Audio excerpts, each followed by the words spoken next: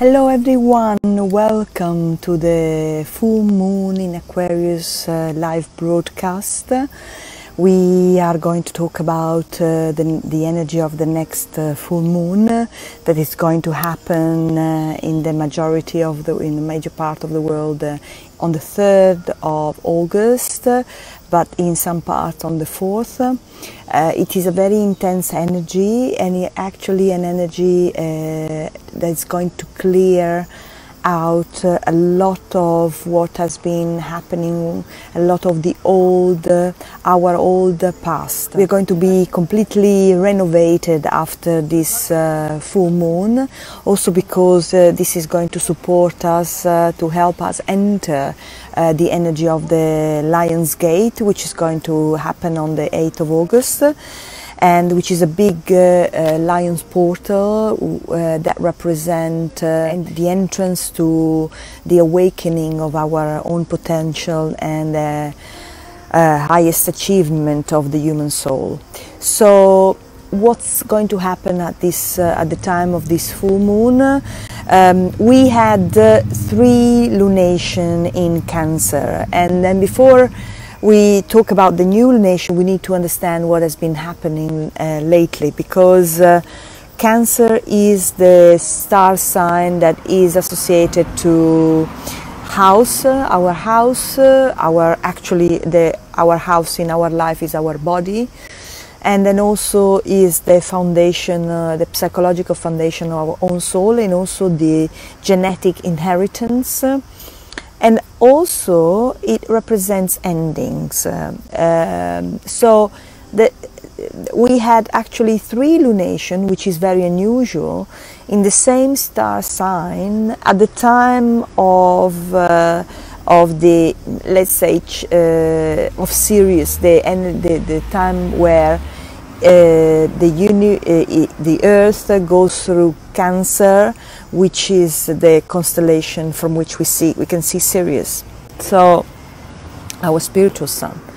So energetically, it is uh, quite an intense time, and um, it actually means it, because Sirius is our spiritual sun, is awakening with has been awakening within us uh, the energy of our, uh, our soul potential. Um, we 2020 is a very interesting year because in numerology 20 means uh, in esoteric numerology uh, 20 means gestation but also is the numerological value of the word of the word uh, death in english so it's a death and is also gestation the opening up, uh, the sorry, the excuse me, the opening of a new energy, and then the ending of the old world.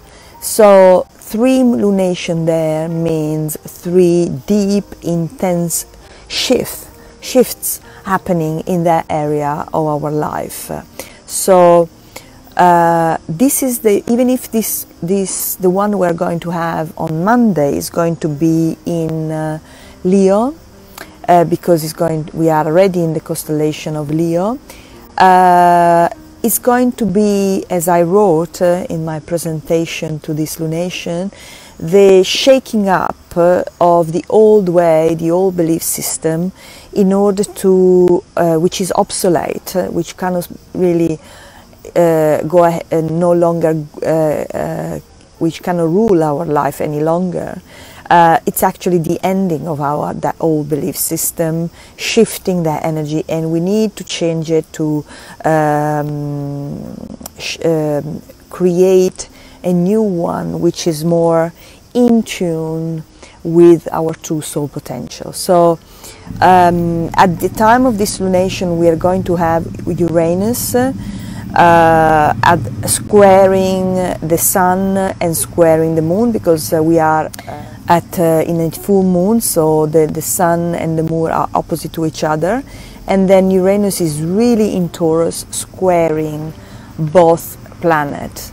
Planet the sun is not a planet but symbolically it is a planet. Uranus is actually uh, asking us to um, look at our life and reveal um, reveal a new potential because we um, we are asked to really make a difference uh, to keep to stop uh, nurturing feeding also our own little garden ego consciousness garden individual garden and then actually move into a completely new energy we need to have to go through a total revision of attitude because uh, we are at the beginning of a new cycle of experience and we need to empower ourselves we need to develop our way of looking at us, uh, at us.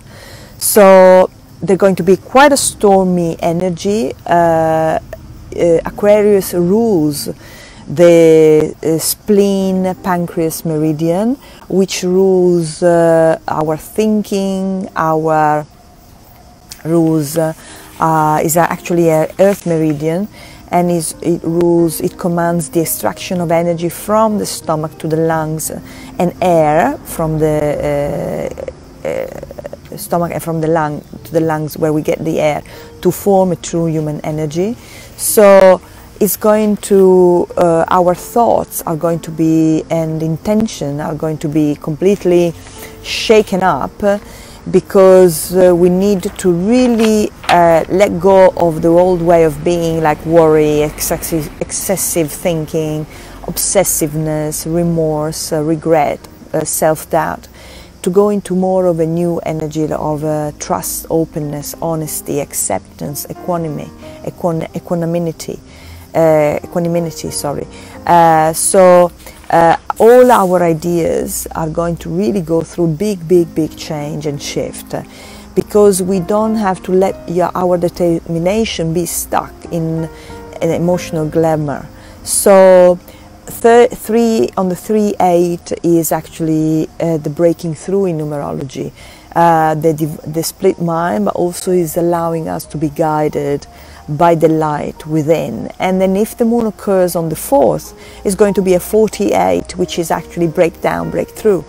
So it is quite an alchemical transformation. We really asked to stop compromising with our uh, what we feel in our heart. You know, the month uh, August is a, uh, is the eighth month and then uh, in numerology is about uh, reorganization, rethinking, alignment of the inner to the outer.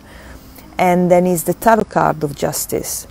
And then in the Aura-Soma the color care system, it relates to number eight, Anubis, bottom number eight, Anubis, which is uh, uh weighing our heart against feathers. So, and the three is our heart bottle. Is the heart bottle is also the, the number associated, uh, numerological associated to the heart and the heart chakra. So, uh, it's really a question, a heart question coming up here. And then we need to die to the old idealism and way of thinking in order really to uh, live, uh, fully live the true aspect of the self. So Aquarius is uh, a sign of constant mo movement and muta mutation. It, uh, it rules our bloodstream, so it is truly related to uh, our life. The bloodstream gives us life as the meridian does. And um, it dispenses our spiritual life. So we are asked to move from a petty and superficial nature to one of deep purpose and profound conviction. Uh, so the individual has to become universal, which means that our individual nature, personality, has to learn to work with our soul, what we feel in our hearts, and we need to start express who we truly are uh, through substances in, into matter. So we are asked not to carry the cross anymore, not to bear what other people think anymore, but to really realize that the other person is helping us uh, uh, achieve, uh, uh helping us shift consciousness, shifting, go through a shifting consciousness, and is in a way is our brother on that level. Uh, Aquarius rules the ankles, and the ankle helps our foot, uh, foot flex and extend and then uh, it also determines how we, uh, our, we put our flute on the ground. So we need to become aware of where, how we do what we do, because uh, uh they ankles reflect that. Uh, they as they show how, how we stand. Are we stable? Are we weak?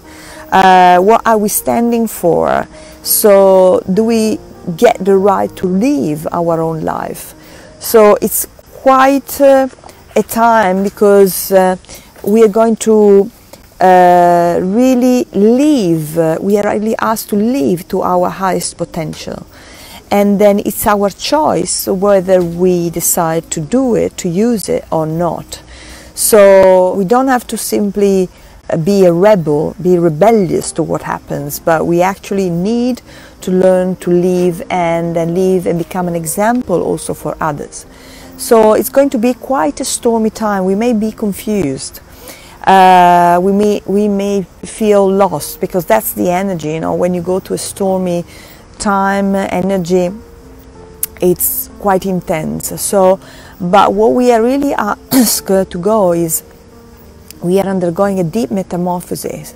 We are, it's really a, a crisis which is going to created by karmic forces uh, because we need to go through huge catharsis within the system. And when the storm uh, uh, ends, uh, is going to, when, the, when the storm ends, we are going to really, uh, the light and the, the, sun will be completely, uh, will bring completely new energy into our lives. So we really need to ponder, we are asked to ponder uh, quietly uh, what we truly want and where we want to go.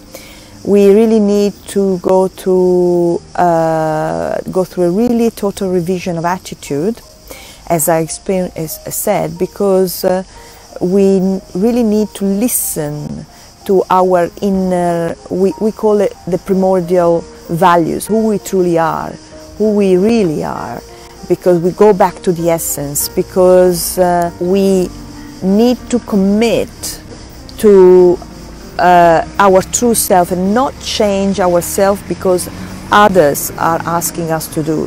It's so very important for us at this stage to return to simplicity and to inner peace because what truly deeply rules our life it's our heart. And the rulers of aquarius are actually uranus, uranus on the classical in uh, exoteric astrology traditional astrology. Then there is jupiter and then the moon.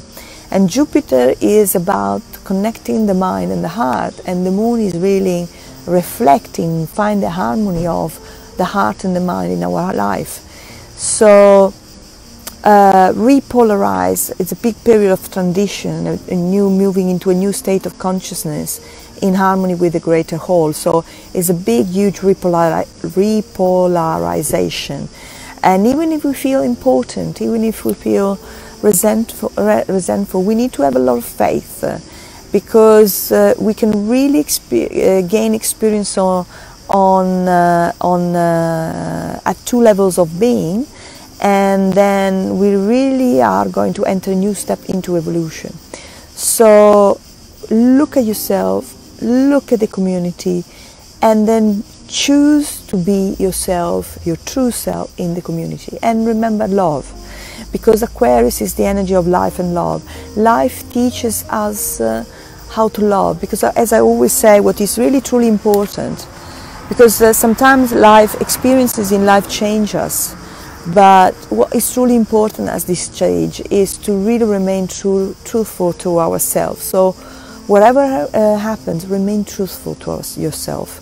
Because the only thing you're going to take with you at the end of this life, as I always said, is how much you loved. Not how much you built, how much money you had, all that, but how much you loved. And that's the only energy that is going to create a different uh, incarnation into the, the next life focus more on the inside to create the outside and not the outside to shift and change the inside. As you, Vicky Wall, I would like to close with a, a, affirmation, uh, a quote from Vicky Wall, uh, the founder um, of Aura-Soma, of the Aura-Soma color care system, She used to say outside in, inside out.